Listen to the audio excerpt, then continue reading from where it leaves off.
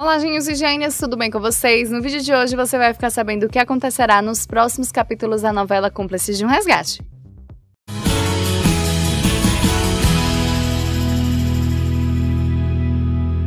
No capítulo 11, segunda-feira, 21 de janeiro, Geraldo liga para Regina e avisa que Isabela está na gravadora fazendo a audição. Regina diz ser impossível, pois deixou a filha trancada no quarto e que Chaveiro ficou de plantão.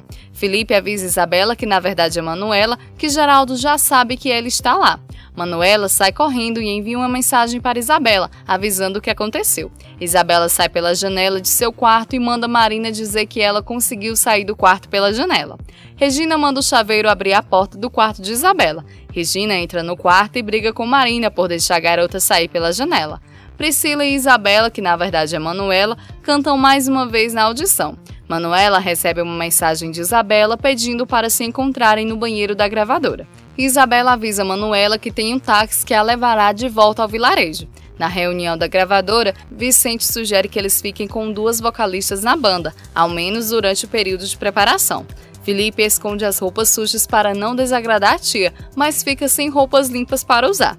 Flora se irrita ao descobrir que não entende que a intenção do garoto era boa. Geraldo conta para Regina que a gravadora optou por ter duas vocalistas. Na sorveteria, Rebeca conta para Manuela que Otávio quer conhecê-la.